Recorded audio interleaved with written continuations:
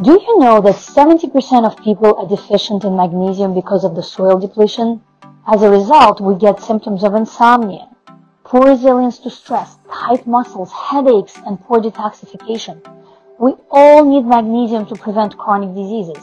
Therefore, I recommend to all my patients to take this highly absorbable magnesium that crosses the blood-brain barrier.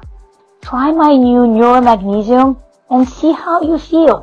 Just mix one scoop of this powder in one to two ounces of filtered water and take it at bedtime or when you're feeling overwhelmed and notice the difference in your sleep, stress level, and resilience.